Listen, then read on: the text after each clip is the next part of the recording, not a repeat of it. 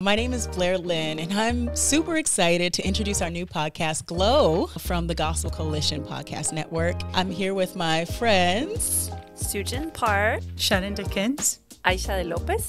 And we are going to be talking about, well, Glo, let me explain, is, is means global. Uh, so we're going to be talking about the global church. Over the next 10 weeks, we'll be addressing different topics like art and mental health, prosperity theology, mm-hmm. adoption, mm-hmm. social media. So we're really excited to have this conversation together, and we hope that you'll listen in. And remember that you are to glow, that you are the light of the world, and let your light shine before men so that they may see your good works and glorify your Father in heaven. So we hope you'll join us.